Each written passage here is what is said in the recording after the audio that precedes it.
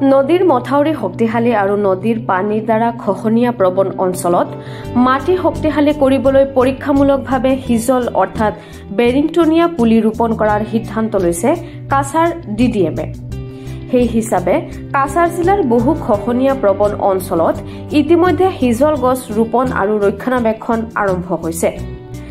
D D এমৰ উদ্যোগটোত সহযোগিতা কৰিবলৈ ওলাই আহিছে অ' এন জি চি আৰু শিৱ দুৰ্গা ক্লাব।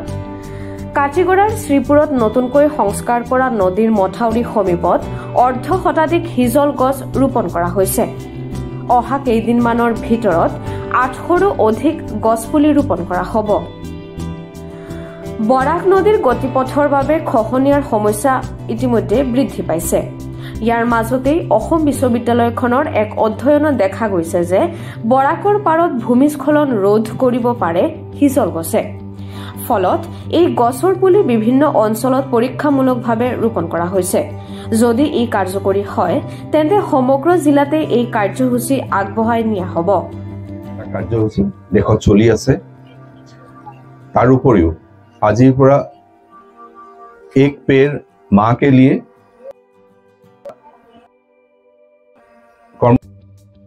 লোৱা হৈছে।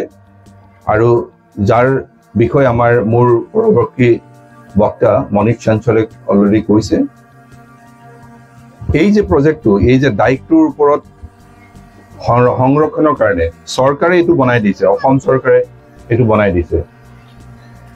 অ' এন জি চিৰ তৰফৰ পৰা যাতে এই গৰাখহনীয়াটো ৰোধ নহয় কাৰণে আমি শিৱ দুৰ্গা ক্লাবৰ সহযোগত ইয়াত বৃক্ষৰোপণৰ কাৰণে প্ৰায় আঠশ কিমান হ'ব হেৰি আঠশ আঠ আঠশটা বৃক্ষৰ বিশেষ ধৰণৰ বৃক্ষ ইয়াত ৰোপণ কৰা হ'ব।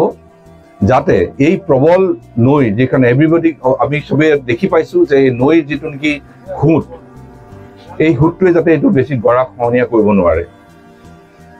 আৰু যেনেকে লালন প্ৰসাদে ইয়াতে ক'লে যে আমি পঞ্জিচি এইটো ইয়াত খা খৰচ কৰিছে। প্ৰায় ফিফটিন পইণ্ট এইট নাইন ক্ৰ'ৰ মানে প্ৰায় নিয়েৰ এবাউট ফিফটিন লাখ টকাৰ এইটো এটা কাৰ্যসূচী। তিনি কিলোমিটাৰ দৈৰ্ঘ্যৰ দুই চাইডে ইয়াত বৃক্ষৰোপণ কৰা হ'ব। তাইতে আমি আপনাকে চাইব যে গ্রামের মানুষে যে এখানে আপনি থাকেন আমি তো খরচা করেছি মানে আপনি থাকেন যে এই যে যেগুলো গাছ এগুলো হবে এটা গাছটা ভালো করে হয়েছে কি না এটার দেখার দায়িত্ব আপনাদের। কেউ আমি এখানে বলছি যে এখানে আপনারা বাসিন্দা। এটা আপনাদের সংরক্ষণের জন্য আমরা করেছি। অন্য জন্যই না। যদি এই যে নদীর বন্যাটা যদি ভালো করে রোধ হয়, যদি বানটা যদি বাঁচে থাকে, তা আপনাদের সুবিধার জন্য করেছি। গতিকে এটা কথা হলো কি, এই যে আমরা সরকারে এটা রাস্তাটা করে দিয়েছে। ওএনজিসি থেকে এটা আমি যে বৃক্ষরোপণের আঁচনিটা নিলাম আমি খরচা করে দিচ্ছে এটা এটা রক্ষণা করা, দেখভাল করার দায়িত্ব আপনাদেরও আছে। আপনাদের থাকবে, এটা আমাদের অনুষ্ঠান। কিন্তু অন্য একটা সিনারিও আপনি চিন্তা করেন, যদি আপনাদের রাস্তাটা বানাতে লাগে, ছয় মাসে রাস্তাটা বানিয়ে দিতে পারবে। কিন্তু কোনো এক সময় যদি সরকার যত টাকাই দেওক আপনাদেরকে অক্সিজেন দেওয়া সম্ভব হবে নাকি? একদিন অক্সিজেন দিলে কত টাকা খরচ হয়?